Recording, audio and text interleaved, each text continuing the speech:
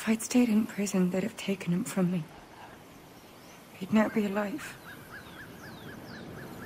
Maybe this is God's way of saying I'm not fit to be a mother yet. Carrying on like I do. Cursing and drinking and fighting. You are a fighter, I. In prison, I heard stories of the infamous Anne Bonny and Mary Read taking on the King's Navy together. Just the pair of you. It's all true. Anne would have won that day if Jack and his lads weren't passed out in the hold from drink.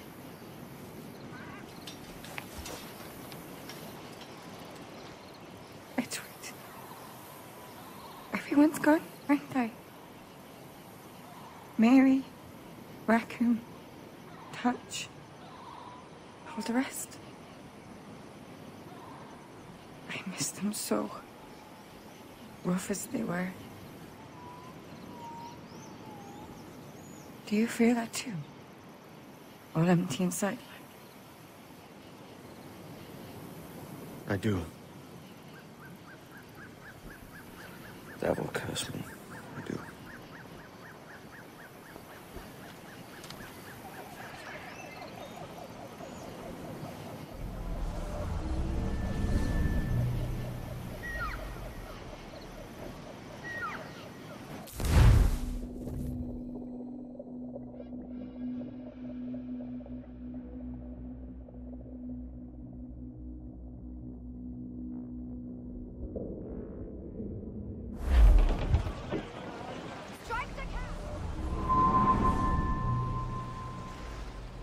I know my targets by sight well enough. But how will I find them? We have spies and informants in every city. Visit our bureaus and the assassins there.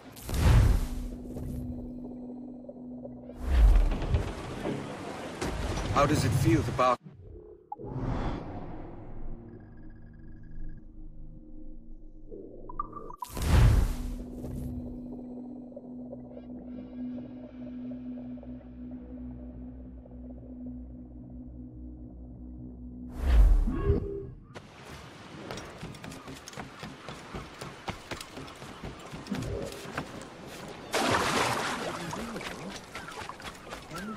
Lose all the unwanted attention?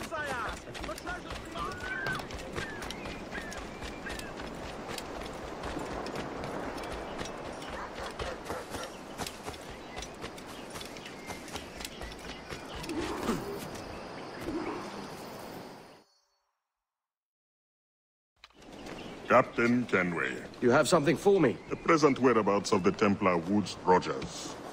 He is attending a small political function, so do it clean. The word is King George is calling Rogers back to London. I, not happy with his progress in Nassau. Still too many pirates roaming about, from what I hear. You'll need a disguise to fool the powderheads at this party. I suggest the visiting diplomat, Ruggiero Ferraro. He's been on our list for some time.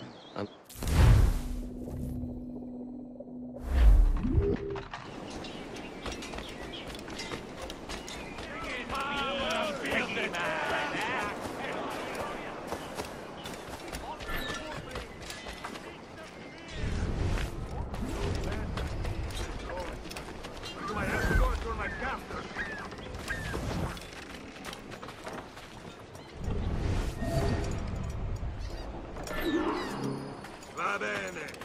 I am ready. We go. This day, you found it.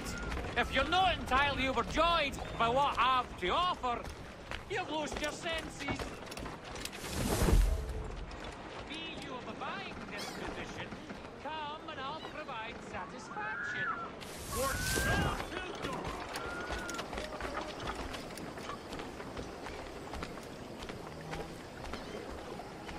There is no beauty to this city. No expression of joy. No aesthetic plan. Ah, you walk your streets like animals. Like cattle with no sense of decorum.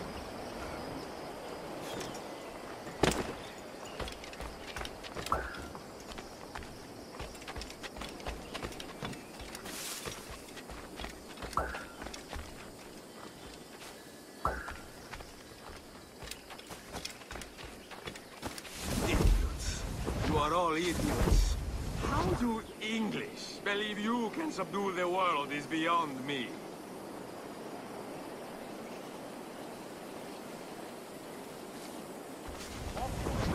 The broker behind himself.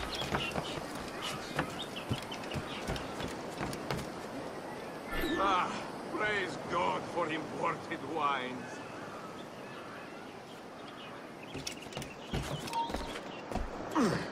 Who can drink rum more than wine and mud?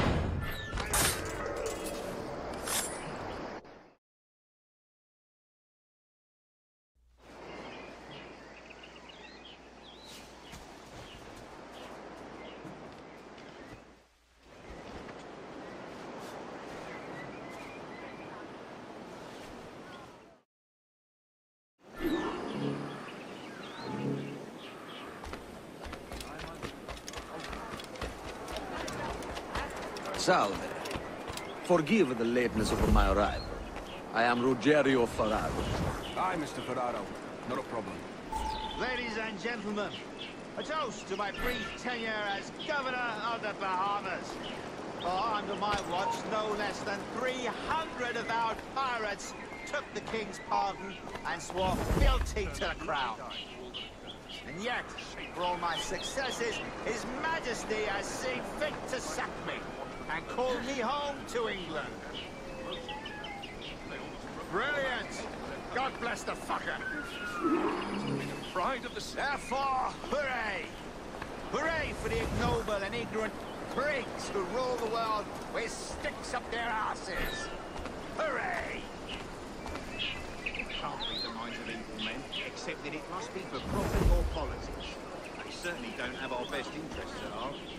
What can I help you with? And how is Mrs. Rogers these days? I haven't the faintest idea, and I don't intend to inquire any further. We separated almost five years ago, and both our lives have been the better for it. Forgive my curiosity, Governor. Perhaps I'll be more candid later, when the remainder of my reason has left me.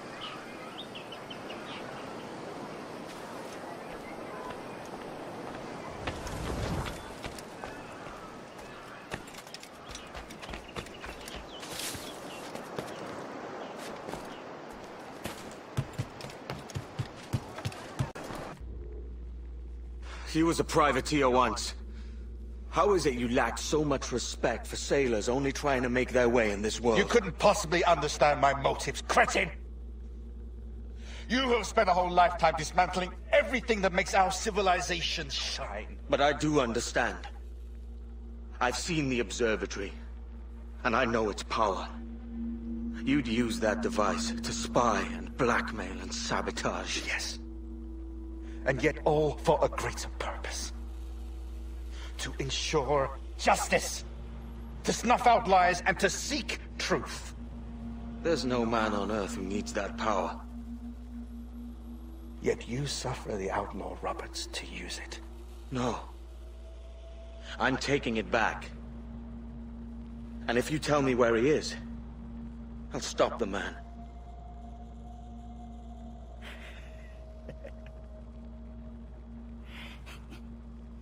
Here at the edge of a blade, I find a friend in you at last. Principe, you mad bastard. Our best sources say Principe.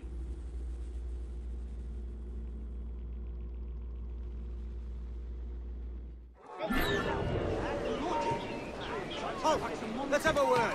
That man there! The Italian! He did it!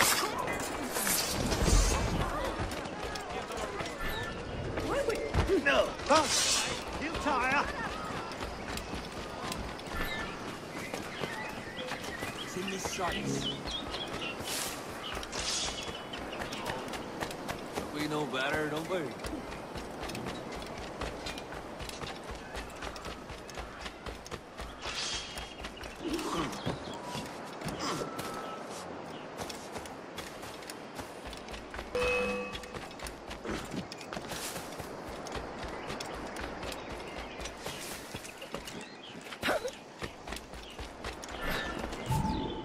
It's done.